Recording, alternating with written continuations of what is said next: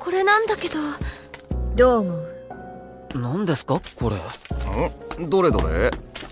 はあ？これって。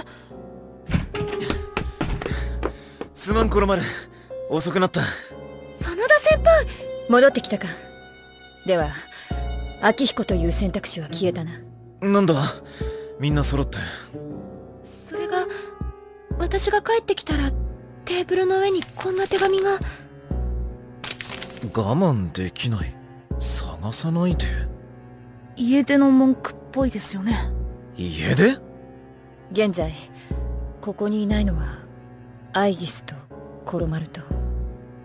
荒垣先輩？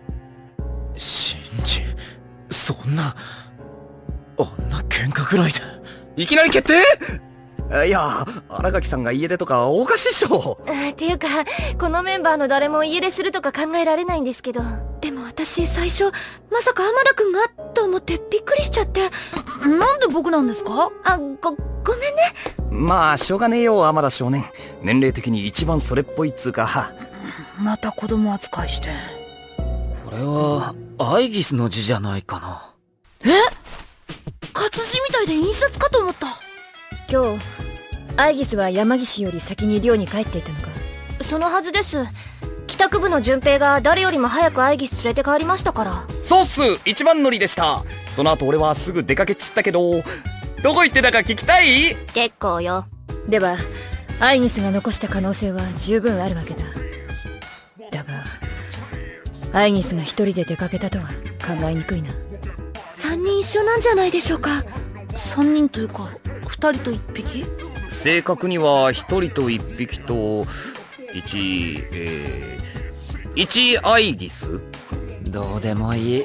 荒垣先輩の携帯にかけてみればいいんじゃないですか？確かにその通りだ。ん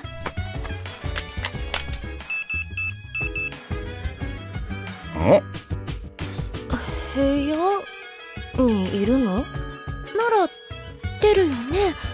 忘れていったのかなまあ揃って家出ということはないだろう。探さないでって心配しないでってニュアンスじゃないかな。ちょっと変だけどアイギス語ならありえる。じゃあ我慢できないわうーん。俺のことがシンまだ悩んでたんですか？いえですから。荒垣先輩じゃないし家出でもないし。話を聞いていなかったのか？秋彦。やっと帰ってきたのに。くそ秋彦。俺は簡単には引き下がらないぞ。何度出ていこうが。また連れ戻すまでだ。真田さん！飛び出してたけど行き先に心当たりとかあんのか？ないと。え？もし例のたまり場とかだったらまずいじゃん。なんで俺ご指名なんだよ。こういうのはその男子の役目でしょ？危ないし。俺ならいいのかよ。いいなでも確かに行くならそろそろ行かない方が。そうだな。どうする？私が行ってもいいぞ。えあうん微妙に逃げ場奪われた。あのここはなんていうか男同士の方がいいっていうか。そうかも。ねなら自分も行きます。もう！ほら順平リーダーのお墨付き出たから。あ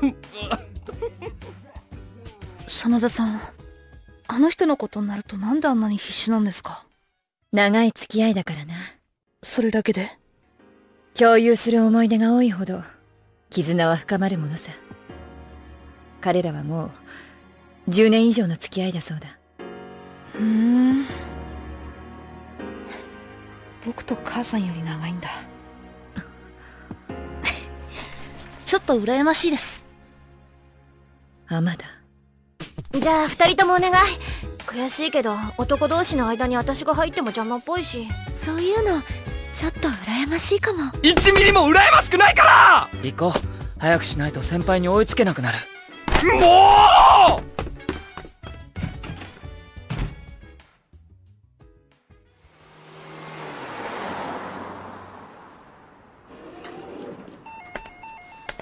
ありがとうございました。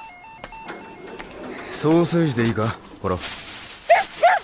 コロマルさんは大喜びであります。神社でも行って食うか。了解であります